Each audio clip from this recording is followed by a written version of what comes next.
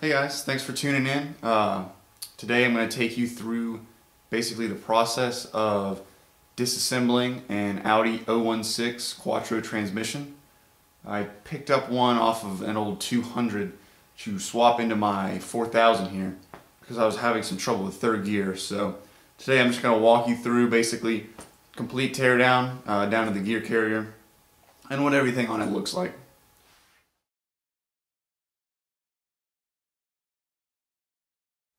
So here is the standard 016 transmission. Uh, they change a little bit throughout the several iterations that Audi has, but for the most part they're all generally the same. You can tell it's an 016 pretty quickly because it has three distinct components.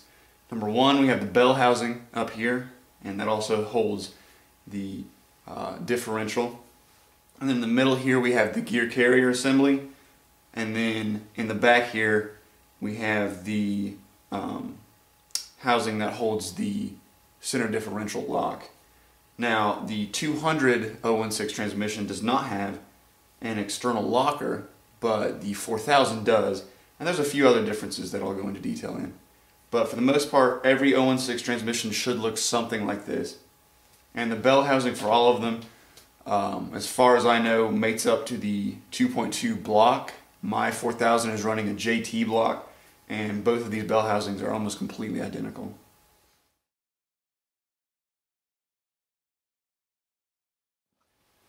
Now as you can see, the slave cylinder on the 200's uh, 016 transmission is held in by this bolt here. But if you look at the slave cylinder on the 4000's 016 bell housing, it's held in by this pin up here. So that's one of the major differences. If you're going to be swapping these transmissions, um, I would recommend keeping your 4000 bell housing. That's what I'm doing. So I'm just going to be swapping the gear carrier into this bell housing. Another difference you'll see is that the pin for the shift stabilizing linkage um, on the 4000 it's using the hole up front but in the 200 it's using this hole back here so you'll need to move that if you're using the 200 another difference you can notice is that um, by the time they started making the 200s, this transmission I think is an 89. They had switched the speedometer to electronic, and in my 4000, um, it was just a cable speedometer. So that's something else to keep in mind. If you're going to swap these, you need to figure out what kind of speedometer you're using. So moving to the back of the transmission where the output shaft is, um, one thing you'll notice is the 200 does not have any external interface. And then if you look at my 4000, um, it has this external differential lock. It's mechanical because this is when the B2s were still using the uh, open differential, so you needed to lock it so you didn't lose traction. And this is the mechanical locker for that. There's an external lever with a vacuum box that pulls that. So if you're swapping it into a 4000, you're going to need to have this uh, differential lock unless you just don't care about locking your differentials. So speaking of this uh, mechanical differential lock right here, this is actuated by this vacuum box and it's really old. It's got a lot of cracks in it. I'm pretty sure this one doesn't even work anymore. Uh, and I really don't like having this potential vacuum leak in my system. So what I'm doing while I have this off is I'm actually going to be replacing this with just a solenoid actuator. Um, I think it was meant to be a door lock actuator, but I found two of them on Amazon for $10 and ordering a new vacuum box is like 60 so I'm going to post a link to that as well if you're interested in revamping your diff lock system. One thing to note about these transmissions is that the um, shift bushing on the ball right here is really bad to get loose. The, the one on the 200 is actually not that bad, but the one on my 4000 actually got so loose that the entire shift linkage could come off of the ball. So um, what I did was I ordered a new bushing from 034. Uh, I'll post the link in the comments. They make really good aftermarket stuff for Audi, and that's one of the only places I could find that replacement bushing for the 016. So getting to the meat of the transmission, this is the gear carrier assembly. Um, this is the reason I tore down the 016 for my 4000 and the reason I actually bought a new one because third gear had totally seized up Um, the synchronizer was completely shot and it was missing several gear teeth. So I just decided to replace the transmission uh, gear carrier assembly. You can see the coding on my 4000 is an 016301 211F, and that's clarified down here. Um, it was made in 85. It's got a WD code on it. You will find that um, any 016 transmission will have the same shape, although it will have some minor changes.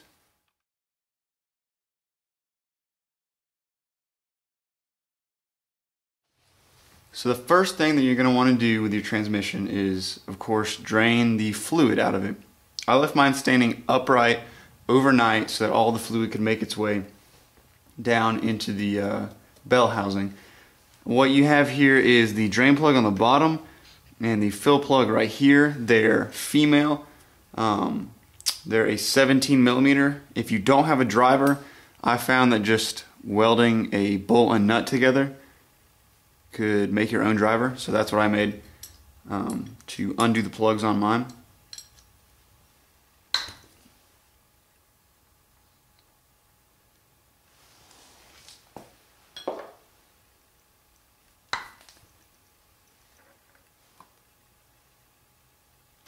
And there's not much fluid in these at all.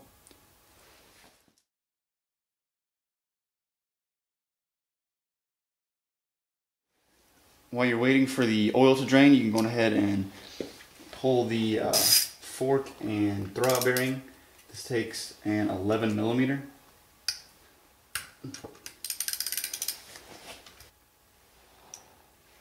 And you'll get these two weird little metal pieces off and then the whole thing just slides right off.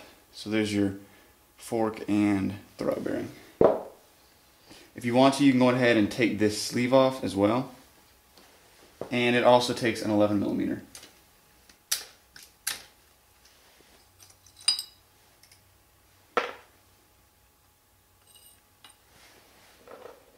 Chances are if you've got your 200 transmission out of the car, you've already disconnected the linkage. I guess at the junkyard they just uh, stripped it and cut it off to get it loose from the car. So I have to remove these, but yours should already be off. Now one thing to notice about your car, if your shifting seems to be really loose, um, you can see right now this guy is totally locked down. Um, the ball is really well seated, but in my old one, this ball has a lot of play in it. I've heard of some people just welding the bottom of the ball back in um, if you only have one of these, that's what I'd recommend doing. If you can, I would go ahead and pull another one off. I'm going to keep the one off this 200 because it's a lot tighter. And it's actually going to be able to uh, really crispen up the feel of the shifter. So.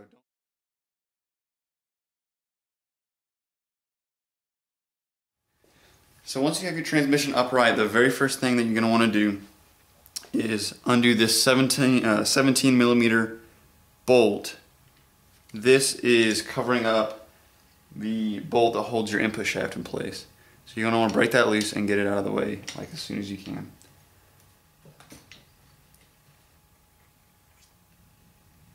So on my 4000, uh, the nut that you remove from that is just this. But for this 200, it has this little guide here and if you take a flashlight and look down in this hole, you're going to see the end of the input shaft. Now on the 4000 input shaft, it was just held in place by this regular Torx bit. However, in the 200, you're going to need a triple square, and this is a 12 millimeter triple square. I think I picked these up at Napa a long time ago. They're kind of hard to find. So get this before you start. I'll post this in the description. And this fits directly into the end of the input shaft. And this is how you're going to loosen the input shaft. The next step is to actually remove that bolt that holds the input shaft into the end of the uh, differential locker. Now if you're by yourself this is going to be pretty difficult but I have found a few workarounds. I ordered a new clutch plate and pressure plate already so um, this clutch plate is pretty much scrap what I do is I slip it onto the end of the input shaft. And then you can pick a slot on the side where you can get a pair of vice grips or something in. You can actually lock them down on the clutch plate. And now you have something to hold your input shaft from turning whilst you loosen this bolt. This takes a lot of force.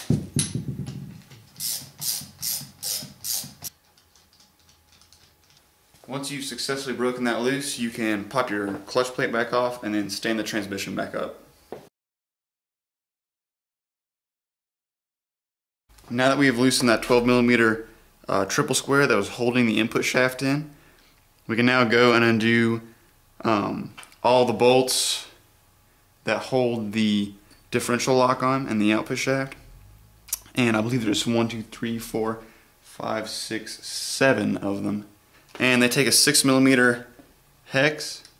Um, these things are really bad to strip out, so please use caution. So once you have successfully broken all seven of those bolts loose, um, the next thing you're going to have to do is separate the differential locker and everything from the gear housing. I also have a come along uh, rigged to the ceiling and this helps if things like this get stuck uh, you can just put a little bit of vertical pressure on it as you knock it loose.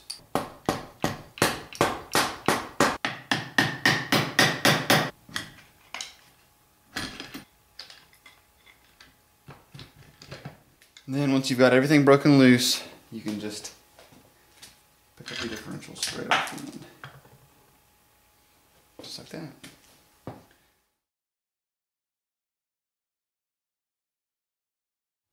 Okay, so before we can uh, actually remove the gear carrier assembly, first thing we gotta do is remove the shifting rod.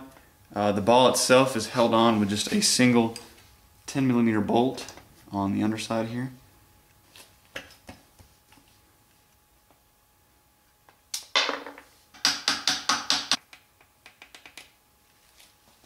After that, we need to remove the two shift detents here and here.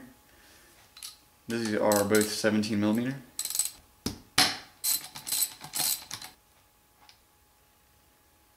Once you remove both of the detents, on the passenger side there are three 10 millimeter bolts. These bolts are what hold spring pressure on the shift rod.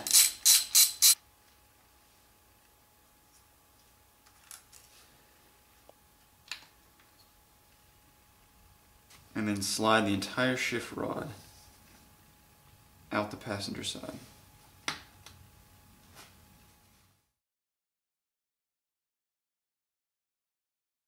Once you have taken the shift rod out, there are a total of 12 13 millimeter bolts that hold the gear carrier assembly on.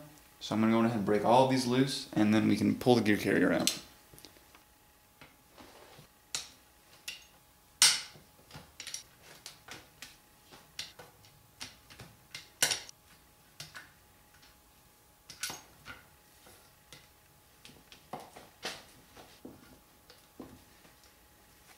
Now that you have all of your bolts out of the gear carrier assembly, um, what I'm going to do is hook a chain to these two bolt holes here and then knuckle along the ceiling like I did before, just to put a little bit of positive pressure so that we can break the whole gear assembly loose.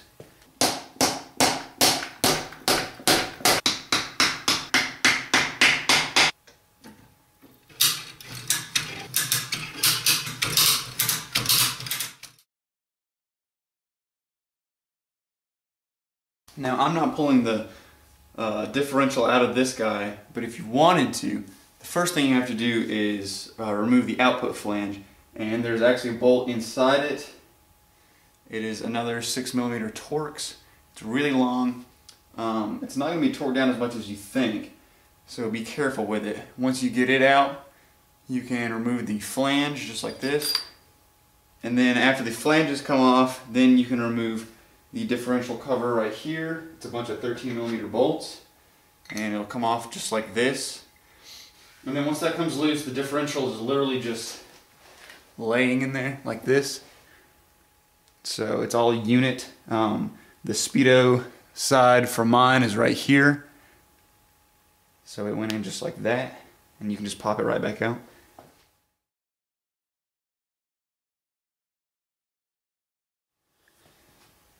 So once you've removed the 016 uh, gear carrier assembly, here it is, completely laid out. Here's the input shaft um, that goes all the way back through to the end here. Uh, this is overdrive on the outside here. And then we have, I believe this is um, third and fourth gear here. And then on the inside here, back in here, we have first and second gear. And then floating around on the underside here is uh, the reverse gear. And this transmission is really cool because it was one of the first transmissions to have this uh, double output shaft set up. So basically what happens is you mate up with the engine and you turn the input shaft and then when you lock a dog gear it sends power to this output shaft here like so but this output shaft is actually hollow and it has this secondary output shaft inside it and this pinion gear mates to the front differential so basically what you're doing is you're sending power through this drivetrain to the back to the diff lock and then the diff lock sends power uh, to the rear wheels through this output shaft and then to the front wheels through this output shaft. And you can actually lock these two shafts together um, and that's what that center diff lock is doing, is just locking this shaft with this shaft. So it's pretty neat stuff. So that's the basics of the 016 transmission. Um, if you guys have any questions, just post in the comments below. Like I said, I'll leave links to um, an electronic diff lock alternative and also 034 their um, replacement 016 bushing to help tighten up your shift action. So uh, thanks, I appreciate it.